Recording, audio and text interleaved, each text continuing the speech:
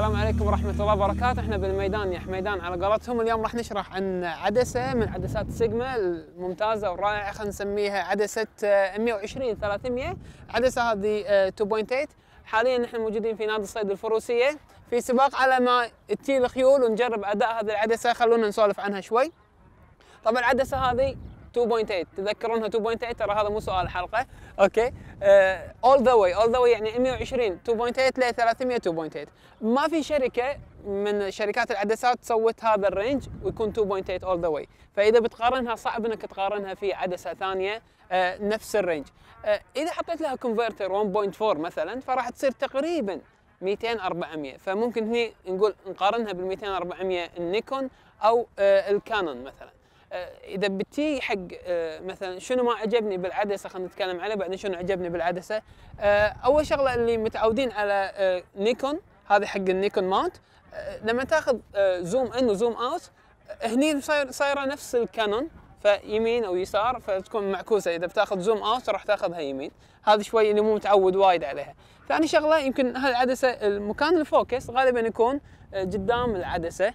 هني حاطينه ورا فيمكن اللي متعود حق ال- ال manual focus. ممكن تروح ايده قدام بس هو ال focus يكون ورا. فمع التعود راح تنحل هالمشكلة. آه شغلة لاحظت ان عدسه مثل هذه 300 إذا قارنتها بال 300 2.8 غالبا 2.8 راح تكون شوي ثقيلة شوي آه، يعني ما شاء الله تشوف ال body مالها كأنها عدسه 200 400 فغالبا آه، يفضل إنك تستخدم معاها monopod. أنا دائما أستخدم ال carbon fiber يشيل أوزان كبيرة وبالمرة يكون خفيف. في بعد أشياء ثانية خلينا نتكلم عنها. بالنسبة حق ال- ال- ال cover مالها يكون 105 105 ملم غالبا يمكن ال 200 400 تكون الفلتر مال ال polarizer بالخلف بس هني إذا بتشتري 105 فلتر راح يكون شوي مكلف. هذا الشغلات أو هذه الأشياء اللي يمكن شوي ما عجبتني في العدسة بس الأشياء اللي عجبتني فيها صراحة وايد. أول شيء السعر. إذا تكلمت عن هذه العدسة خلينا نقول 3600 دولار تقريبا. إذا بتتكلم عن 200 400 نيكون عدسة جبارة ما في عليها أي كلام. إيه هو الكانون؟ بس انها كسعر هذيك 6800 نيكون 11800 تقريبا الكانون. ففرق وايد وايد وايد بال range مال السعر. آه ال sharpness اللي فيها وايد وايد حلو. إذا يو الخيول راح نعرض لكم samples من هذه العدسة. طبعا العدسة عليها أحرف. الأحرف اللي هي OS OS يعني مثل IS وال VR vibration reduction اللي هو آه، مانع اهتزاز. كذلك auto focus أو HSM اللي هي high speed motor ال focus داخلي انك لما تضغط في موتور هني ممكن أنت تشوف إن ال focus هذا قاعد يتحرك ويرجع. فهذا ال focus internal focus داخلي. آه، كذلك آه، فيها two mode حق آه، مثبت اهتزاز. فيه اللي هو ال horizontal إذا كان جسم متحرك بطريقة أفقية يثبت, لك الاهتزاز أو جسم يتحرك بطريقة vertical حق العدسه فممكن هني يخفف لك الاهتزاز الرأسي. آه، من الأشياء اللي حلوة فيها العدسة هذه السرعة ما شاء الله وايد سريعة آه، عندكم الم- ال maximum aperture اللي هو فتحة العدسة 2.8 ال minimum aperture اللي هي أكبر فتحة عدسة اللي هي 22 22 كذلك الزياده عن العدسة ممكن نشوف موقع DP Review العالمي مشهور آه، مدحوها وايد. كذلك في وايد مواقع مدحت هذه العدسة وأدائها. minimum distance ممكن تصور من متر ونص فهذا يعطيك إنك تقدر تصور موضوع قريب منك. آه، هذه تقريبا بعض الأشياء اللي بالعدسة ال vignette effect أو السواد اللي حوالين العدسة ممتاز جدا تقريبا ما فيه ال chromatic اللي هو اللون الأخضر ممكن يكون واضح على 120 ب one click بال Lightroom يروح بس على 300 ممتاز جدا. مثل ما قلت لكم ال sharpness في ال center مال العدسة وايد قوي على الأطراف ممتاز جدا يقولون ممتاز جدا. وراح نجربها الحين مع بعض. ما إحنا ناطرين الخيل على ما هي الخيل. غالبا بالتصوير الرياضي أنا أستخدم اللي هو ال focus system أو ال auto focus system دائما أخليه continuous continuous حرف ال C أو AI servo في الكانون كذلك بالنسبة حق آه، التصوير المتتابع أنا دائما أخليه على في اللي هو ال single وفي ال CL وال CH دائما أخليه على ال CH أساس إني أصور أكثر من صورة ورا بعض. آه، بالنسبة حق القراءة عندك موضوعين يا انك تسوي freeze أو تجميد حق الموضوع. بتسوي تجميد يعني shutter speed سريع. ال shutter speed غالبا أنا أستخدم ك program بالكاميرا أستخدم اللي هو ال A ال program ال aperture أو ال AV في الكانون. فكرته شنو؟ أنك أنت تختار فتحة العدسة والكاميرا تختار سرعة ال shutter. فأنت غالبا نختار إحنا 2.8 3.5 5.6 فتحة عدسة تكون واسعة على أساس إنه يعطيني أكثر أو أسرع shutter speed بالنسبة حق الآيزو إذا إضاءة شوي طايحة مثل هذه غالبا نستخدم 400 800 كاميرات ممتازة الحين الجديدة ممكن تطلع 1000 وفوق ال 1000 ما عندك مشكلة. آه، التكنيك الثاني اللي انت بتصور panning أو zooming مثلا. إذا بتصور panning أو zooming دائما أنا أخلي مثلا على ال S mode أو ال TV mode بالكانون وأخلي مثلا سرعة ال shutter 30 40 60 حسب الموضوع سرعته. بالنسبة حق الايزو يكون أقل. ايزو على أساس إنه يكون ال shutter بطيء. وفتحة العدسه ممكن تخليها مثلا 16 أو 22 إذا أنت حاطه على ال A mode هذا تقريبا الإعدادات حق التصوير الرياضي. آه، دائما ينصح بالتصوير الرياضي إذا كان في أي features داخل الكاميرا أو مميزات إنها تزيد الألوان إنك تزيد ال sharpness كلها تصفرها.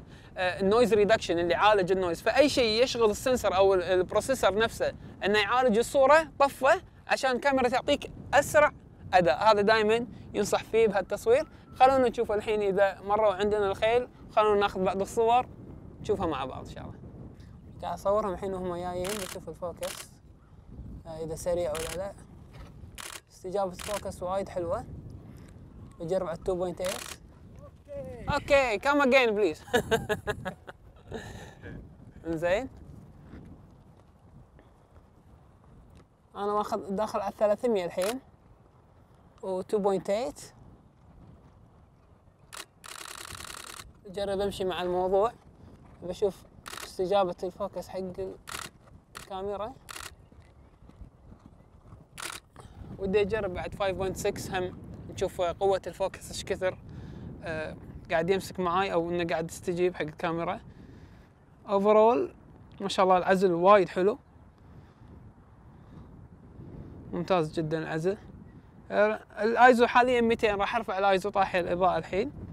آه راح أحاول أرفع الآيزو وأخذ 5.6 بشوف ال depth إيش كثر ياخذ بشوف العزل كذلك بشوف آه، قوة ال focus نفسه. على 2.8 قاعد أشوفها ممتازة جدا.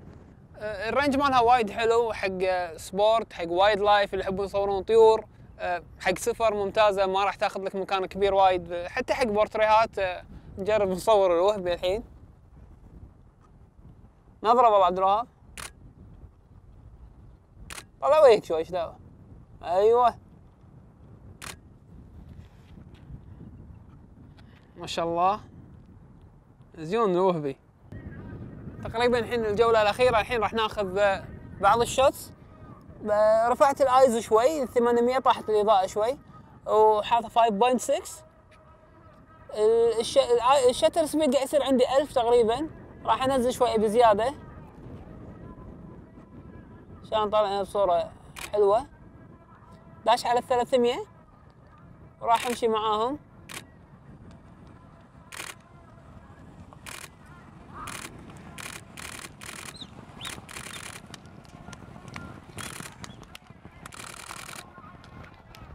مبروك حق الفايز بالسباق.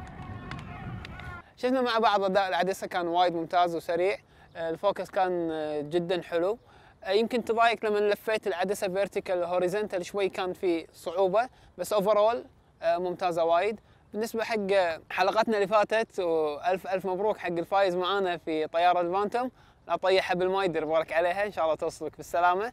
بالنسبة حق حلقتنا هذه راح يكون في سؤال وراح تكون في إجابة أو في جائزة وايد وايد حلوة من شركة AAB World السؤال يقول تكلمنا عن الأحرف اللي كانت على العدسة كان في حرفين اللي هما OS شنو وظيفة الحرفين هذيلا؟ تكتبونه بال comment سواء في يوتيوب أو في إنستغرام ماجد photos تحت إعلان حلقة اليوم أو في إنستغرام AAB World كل ال comments هذه راح تزيد نسبة فوزكم إن شاء الله وراح يصير سحب على فائز واحد من هذه ال comments كلها. الجائزة عبارة عن عدسه 150 500 مقدمه من شركة AAB World سعرها تقريبا 320 دينار. مبروك على اللي شارك. ويتفاعل معنا اللي ما شاف الفيديوهات السابقة خلي يشوفها واللي يقدر ينشر. هذه الفيديوهات بحيث إنه يستفيدوا منها أكبر عدد من المصورين. لا تنسى تشارك فيها انستغرام يوتيوب تويتر فيسبوك كل مكان. نشوفكم إن شاء الله الأسبوع الجاي على خير.